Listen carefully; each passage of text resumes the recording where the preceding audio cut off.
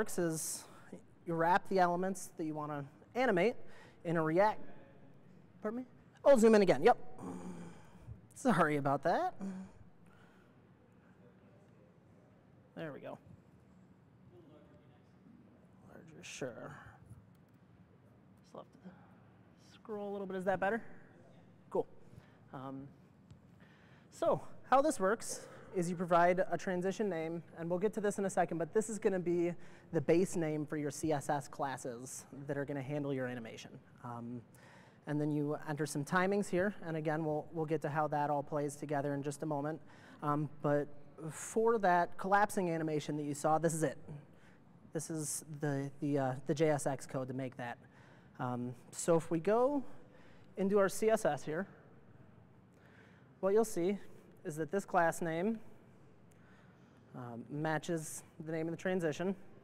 And as these uh, elements enter and leave the virtual DOM, the, uh, the dash enter, dash enter active, dash leave, and dash leave active classes will be automatically applied. So it comes into the virtual DOM, and it automatically adds the dash enter class and then the dash enter active class. Um, and then likewise, it leaves the virtual DOM and it adds the leave classes. And the, uh, the enter and leave verbiage is all customizable if, if for whatever reason you wanted to change that. Um, so that's, that's really all there is to it. And uh, you can kind of see what's going on with the animations there. Um, and, and that gives us the functionality that we see here. Um, so uh, I guess I'll ask right away, are there any questions with, with this part?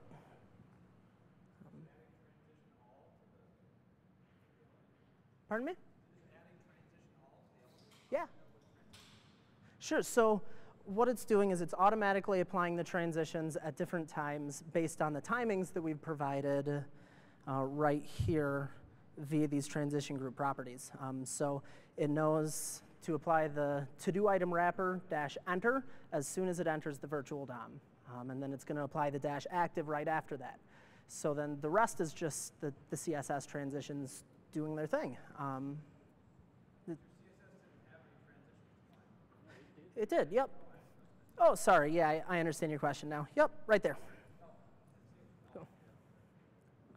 Sure. Yep, so that's going to be the exact same thing. So I'll show you the animation here. If I remove one of these.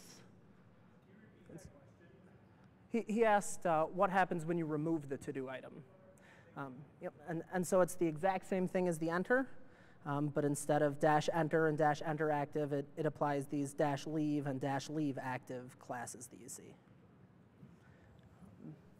And so you, you can see that um, as we navigate around here, the animations are taking place as the elements come in and out of the virtual DOM.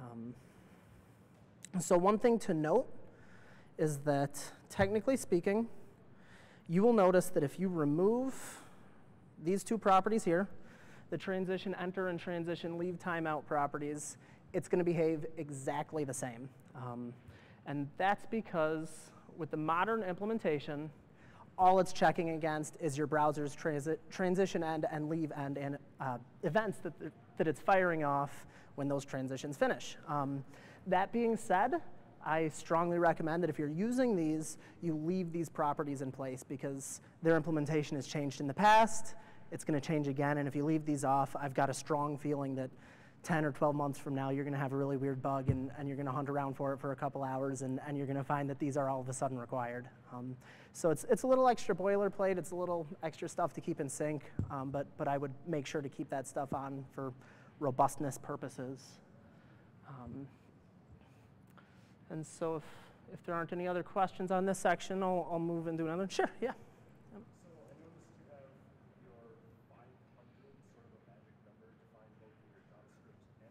Mm-hmm.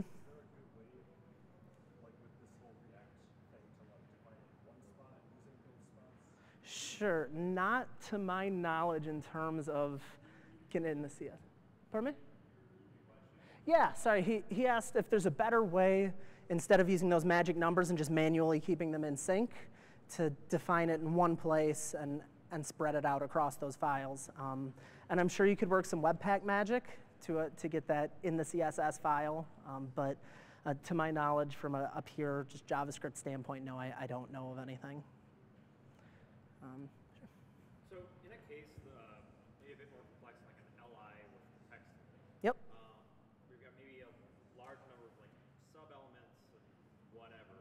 You ever have to worry about invalid transient state? Like maybe it's removed, but then like a price calculation or a whatever would then become invalid. You see that during the transition. Sure. So I guess I don't fully understand your question. Um, Well, because so in your store or whatever, it's Yep. going to be removed. So Yep. any calculations that get done at that point will be incorrect. How do you deal with that during the transition?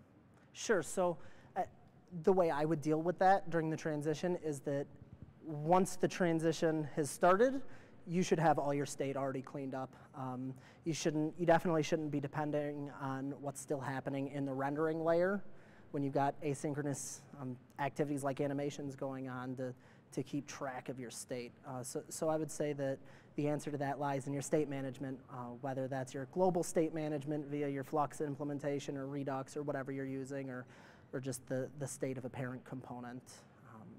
I guess, did, did I answer your question? Or? Cool. cool. And then, yeah.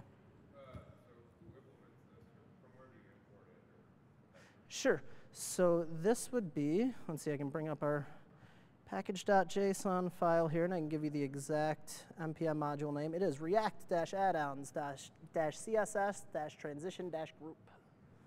So you just npm install that, import it like you would anything else. And anything, any other questions on this section? Cool. Um, so we'll move over then uh, to the other animation that you might have noticed here, which is that when I add something, you'll see a little I don't know why I'm to-doing myself. Um, you'll see a little uh, color fade in there. Can everybody see that? The purple and then it fades to black? Cool. Um, so this here highlights a little gotcha that, that's really easy to fall into with these, which is that if you look at this, we're rendering our to-do item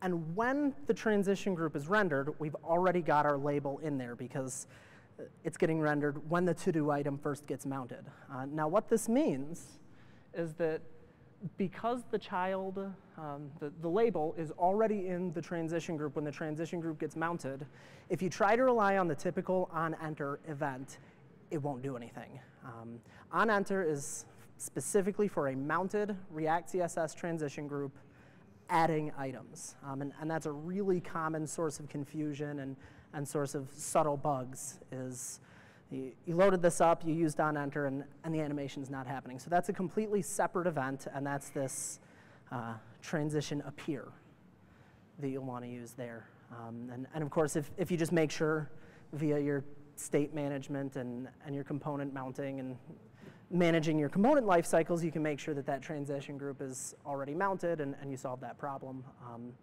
but, but that's an important note is to make sure that you're using appear if, if they're mounting at the same time. Um, and so with that in mind, um,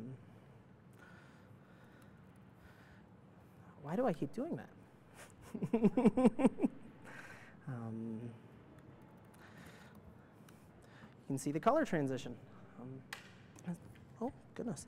Um, so that's all, um, I, I think, pretty simple and pretty easy to set up, but, but it gives you a lot of power and, and just quick, simple transitions. You're fading in, you know, an, an overlay of some sort, and you're sliding a modal window down or, or whatever the case may be. And, and I think that, well, it's, it's relatively simple again, and it doesn't provide you a tremendous amount of power. Anything that you can do with CSS transitions, this gives you a really quick and easy way to, to get them in your React app without, you know, messing with the DOM too closely or, or anything like that.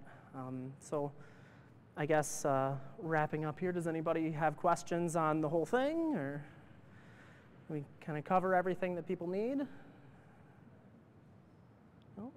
All right, looks like we're good. If anybody does have questions, uh, feel free to find me uh, during the socialization time at the end here. And uh, without further ado, I'll hand it over to our very own Nathan Smith.